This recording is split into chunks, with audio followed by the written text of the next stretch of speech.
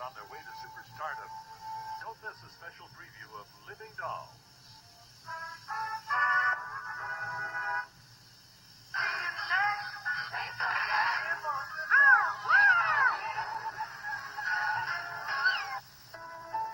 An ABC News brief. Now from Washington, Ted Koppel. Good evening. Famed American composer Irving Berlin died today at the age of 101.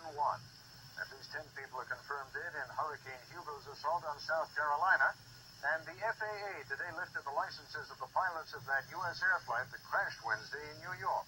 We'll have more on all three of those stories later on Nightline. Next on 20/20, survivors of an air tragedy last February relive the trauma.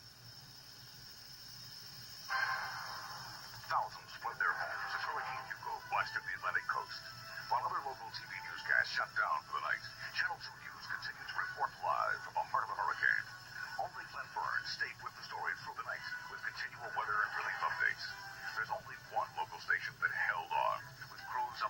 Atlantic coast filing live reports all night long. It's coverage you expect from the news